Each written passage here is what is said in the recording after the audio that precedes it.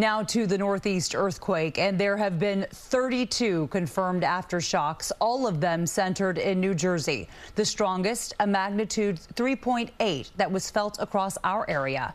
And tonight, safety inspections continue on bridges and at a school where we have just learned a gym has been deemed unsafe. CBS 2's Alecia Reid has the latest tonight from Newark.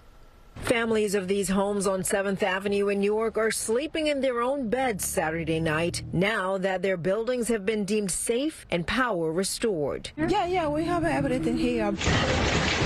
There were concerns Friday's 4.8 magnitude earthquake shifted the foundations of the homes. After the initial quake hit at 10:23 a.m., USGS confirms another 32 aftershocks hit New Jersey and the surrounding areas. Feel that? The strongest, a 3.8 magnitude Friday evening. And late Saturday, we learned a Brooklyn Middle School's gym was deemed unsafe after a DOB inspection found cracks inside. The rest of the school at 370 Fountain Avenue is okay.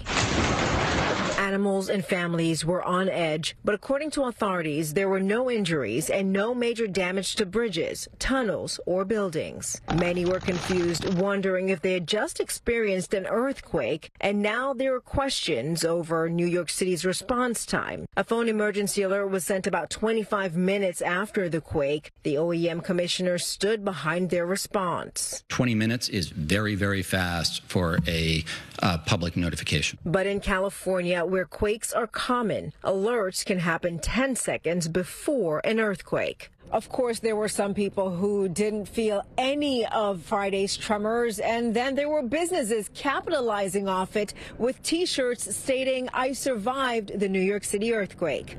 In Newark, Alecia Reid, CBS 2 News.